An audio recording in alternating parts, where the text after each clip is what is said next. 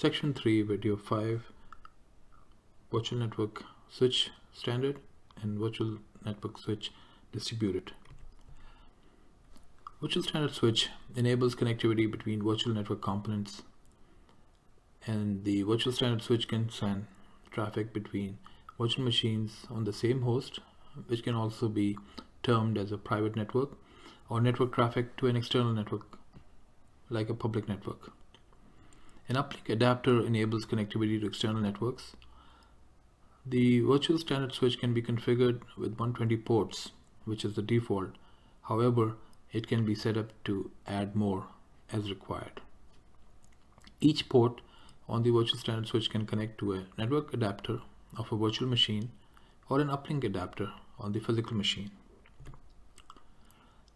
A virtual switch provides two types of connections. One is a VM kernel, which is a dedicated TCP IP stack and includes IP storage such as NFS or iSCSI, vMotion, and access to management network. The management port as an example is used to connect vSphere client. The VM kernel port and management have their own IP configuration, address, net mask, and gateway.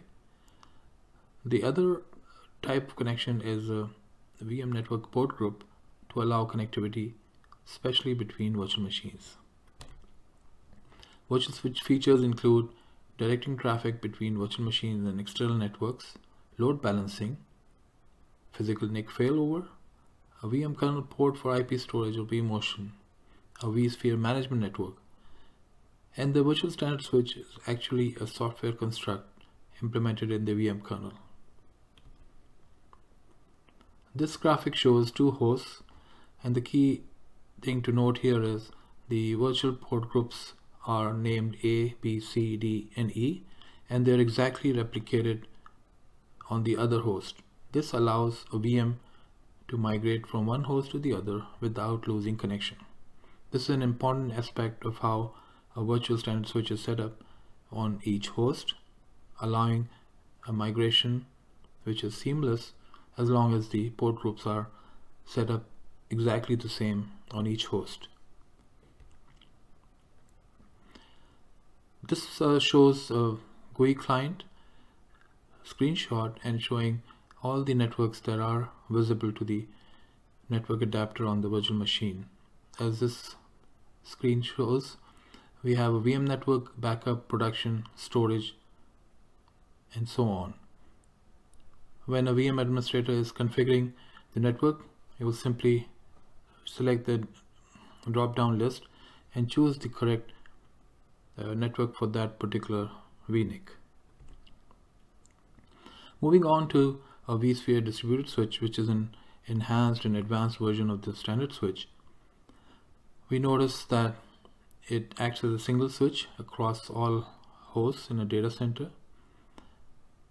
Virtual machines are able to maintain a consistent network configuration. However the distributed switch is available only with virtual center as it is able to manage multiple hosts and this comes with an enterprise plus license VDS allows inbound and outbound traffic shaping and when network resource management is enabled allows dividing the traffic into number of network resource pools including fault tolerant traffic, iSCSI, vMotion, management traffic, NFS and virtual machine traffic. In a virtual distributed switch, the network configuration spans across all member hosts. As shown in the graphic you have two hosts. However the port groups are distributed across all hosts.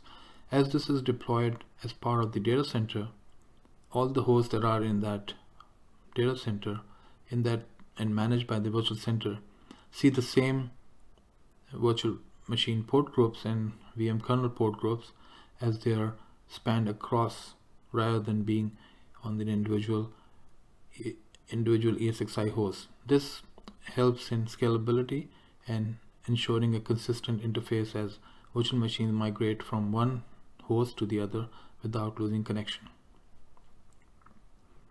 One of the essential differences is that the uplink port uh, on uh, that the virtual machine connects to is actually the virtual uplink port and not the the host uplink. That's the essential difference. Features available for both types of virtual switches, standard and distributed, are the ability to forward layer 2 frames, segment traffic into VLANs, understand 802.1q VLAN encapsulation, allow more than one uplink, also called NIC teaming, and traffic, sh traffic shaping for outbound traffic.